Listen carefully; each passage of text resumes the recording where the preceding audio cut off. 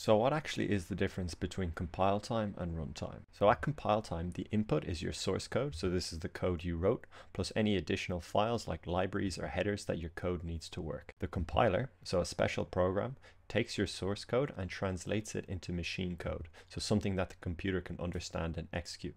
If everything goes well, the output is usually an executable program, something that you can run, or an object code which might need further linking. If there are errors, you will get an error message instead. And so possible errors include syntax errors. So these are mistakes in your code structure, for example, missing a semicolon or using the wrong brackets, as well as type checking errors. And so these are errors which occur when you try and use data in a way that doesn't make sense for example, like adding a number to a string without proper conversion. Whereas the runtime refers to the period during which a program is executed.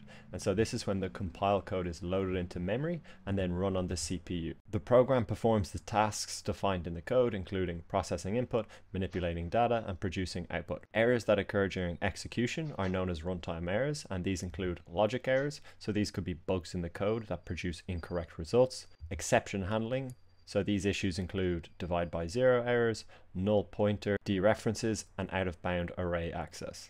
And then you can also have resource errors. So these problems include memory leaks, file not found, and networking issues. And so if we run through a quick example, so let's say you've written some C++ code, this code will then be compiled. And so there will be syntax and type checking here. And then the compiler will also do some more advanced things like scope resolution, intermediate code generation and optimization, as well as object code generation and linking, but we won't get into that here. And then hopefully it'll output an executable file. Then in the runtime flow, the executable file is loaded into memory. The main function is then executed. And in this case, for this simple program, we'll then prompt the user for an input input. The user can then give their input. It will then perform the calculations and print the results. And then finally, once the execution is complete, control is returned to the operating system. And so here on the top half of the screen, we've got our compile time flow, and on the bottom, we've got our runtime flow. And so very simply, compile time is all about getting your program into an executable form, whereas the runtime flow is all about actually executing the program. I hope this was a clear explanation of the difference between compile time and runtime.